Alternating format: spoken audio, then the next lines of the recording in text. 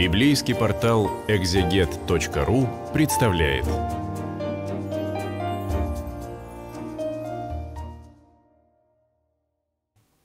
Здравствуйте, дорогие друзья!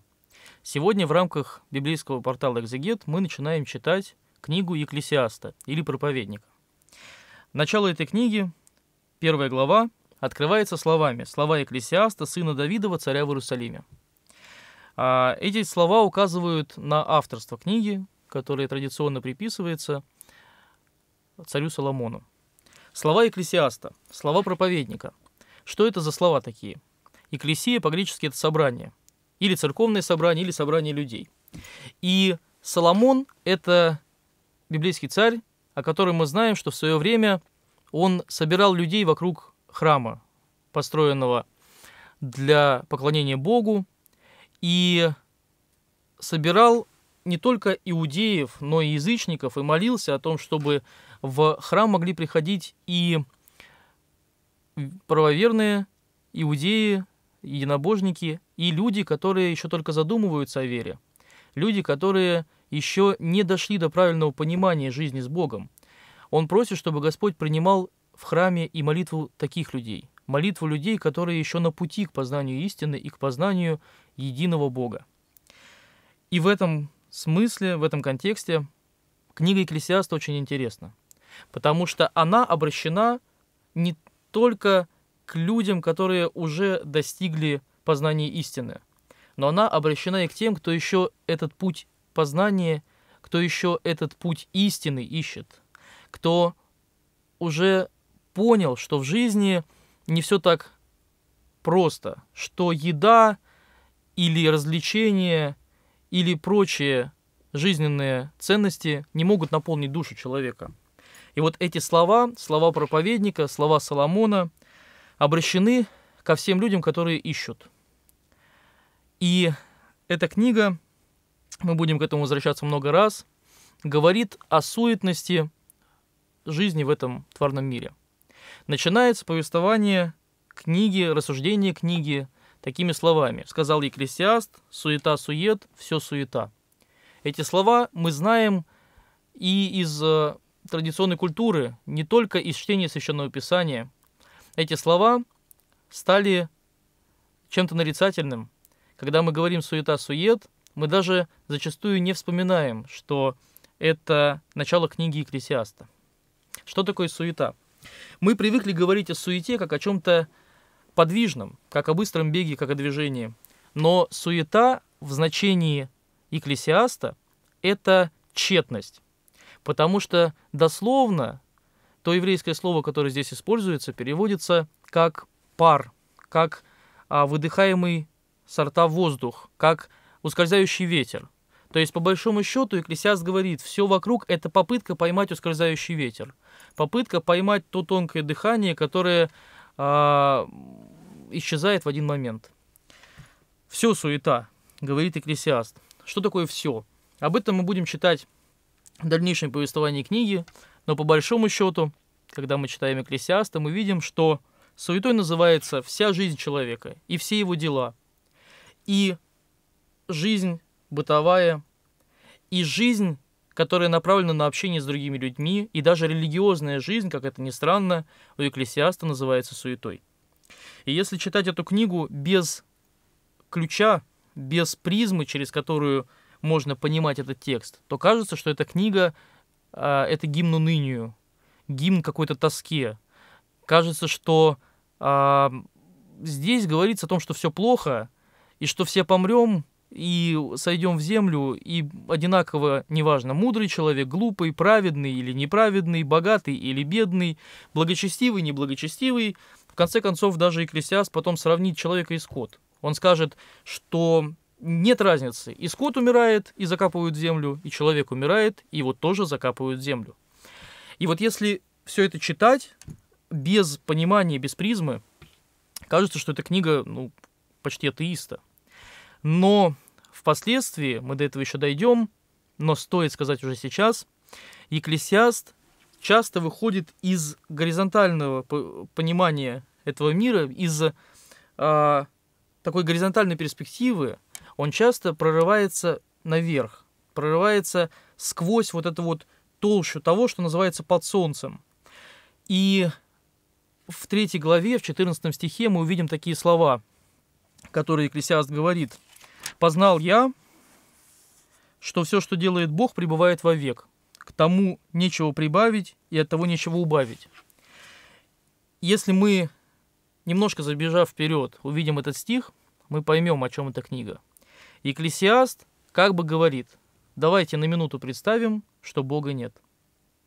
И если Бога нет, тогда все, что есть вокруг нас, это суета, бессмыслица, щита, которая исчезает, как пыль, как дым. И дальше начинается размышление Соломона. Что пользы человеку от всех трудов его, которыми трудится он под солнцем? Род проходит, и род приходит, а земля пребывает вовеки. И действительно, мы видим, что люди трудятся, работают, развиваются технологии, строятся дома, сменяются поколения.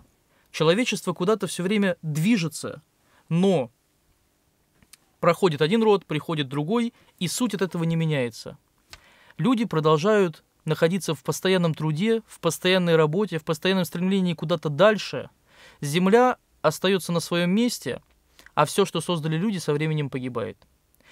И пример этому множество великих цивилизаций. И империя Александра Македонского, и империя Римская, империя Византийская, позднеримская. В конце концов, все великие свершения людей забываются, в лучшем случае остаются архитектурными или иными памятниками, и по сути теряют свою ценность. И Экклесиаст говорит, действительно, что польза человеку от всех трудов его, которыми трудится он под солнцем. Очень важны эти слова под солнцем, мы часто будем встречать их в этой книге. Экклесиаст как бы проводит такую черту. Это черта между духовным миром и материальным. Он символически указывает на материальный мир и говорит, если мы будем размышлять о том, что под солнцем, о том, что не касается духовного мира, о том, что без Бога, то действительно какая польза человеку от всех трудов его. Восходит солнце и заходит солнце, и спешит к месту своему, где оно восходит. Идет ветер к югу и переходит к северу, кружится, кружится на ходу своем, и возвращается ветер на круги свои. Все реки текут в море, но море не переполняется, к тому месту, откуда реки текут, они возвращаются, чтобы опять течь. Это тема круговращения, которая также в этой книге встретится не раз. Солнце всходит каждый день. Реки каждый день куда-то текут. Ветер движется в одну сторону и потом движется в другую, но какой от этого смысл? Все происходит циклично, и ничего от этого не прибавляет человеку. Экклесиаст ищет на протяжении всей книги пользу. Это слово тоже мы встретим в тексте. Что такое польза? Экклесиаст, как человек, воспитанный в определенной культуре, ищет, а что мне с этого будет? И он не ограничивается рамками земной жизни. Он смотрит дальше. И говорит по большому счету, вот сейчас человек трудится, каждый новый день приходит, и каждый новый день приносит свои труды, все в мире круговращается, а что от этого остается в сухом остатке? Этот вопрос Екклесиаст как бы подвесит в воздухе и будет обращаться к нему на протяжении всей остальной книги. Все вещи в труде. Не может человек пересказать всего, не насытится око зрением и не наполнится ухо слушанием. О чем здесь говорится? Все вещи в труде. Здесь употреблено слово «вещи». Еврейский оригинал этого слова подразумевает возможность перевести это как вещи и как слова – и поэтому одни толкователи говорят о том, что все вещи, то есть все дела человеческие проходят в труде, а другие говорят о том, что все слова человека трудны. Это два смысла, которые друг другу не противоречат. Это как бы две грани одной и той же фразы. То есть все вещи в труде. Что это значит? Это значит, что все, что не делает человек, все трудно. Это та проблема, которую мы получили после грехопадения и отпадения людей от рая. Господь говорит Адаму, в поте лица своего будешь есть хлеб свой. И это не наказание Божие. Просто Господь рассказывает о том, что произошло с человечеством. И теперь каждый день нам нужно с утра вставать, что бывает зачастую очень трудно, умываться, готовить завтрак, ехать на работу, на этой работе трудиться, после работы уделить время своим родным, хотя это тоже бывает тяжело после рабочего дня. И многое другое, что мы делаем, все это сопряжено с трудностью. Человек зачем-то преодолевает все время какие-то препятствия, зачем-то куда-то стремится, пытается повышать свою производительность труда, пытается сделать как, как можно больше всего за свою короткую жизнь или за отдельно взятый день. И само понимание этого, что мы постоянно куда-то несемся, чего-то делаем, вызывает у экклесиаста вопрос «зачем?». Потому что все суета. Потому что что в итоге ты от этого получишь? В контексте вечности – ничего. И другой смысл. Все слова человеку трудны. Все слова трудны. О чем говорит Экклесиаст? А, очень сложно человеку вообще говорить, если он хочет говорить что-то осмысленно и говорить о каких-то важных вещах. Ну, даже сейчас, э, сидя перед камерой, очень тяжело а, себя собрать, чтобы говорить по делу и стараться это сделать интересно. А, святитель Григорий Низкий как раз говорит, что слова человека осмысленные и важные, они трудны. И получается, что не просто каждый день ходить и что-то делать нам трудно, но даже говорить нам бывает тяжело. А, например, блаженный Ироним, который хорошо знал еврейский текст и тоже предпочитает здесь перевод слова, он говорит, что слова человека трудны, это значит, что нам тяжело часто а, высказать и описать то, что мы видим, или то, что мы чувствуем. То есть а, дальнейший текст объясняет а, эту фразу. Не может человек пересказать всего. Не насытится око зрением, не наполнится ухо слушанием. То есть человек получает впечатление от видения, от слышания, и когда он пытается словесно это оформить, это тоже трудно. То есть Экклесиаст говорит, что толку в жизни, если даже говорить, это очень тяжело. И дальше мы встречаем тоже достаточно известную цитату. «Что было, то и будет.